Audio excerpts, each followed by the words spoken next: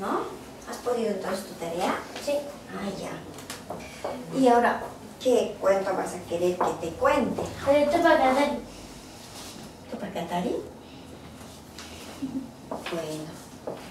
Tú vas a, ya a, a acomodar las cosas de la escuela. ¿Y para Catari? Uh, ese hombre. Acomodar las cosas de la escuela, te vas a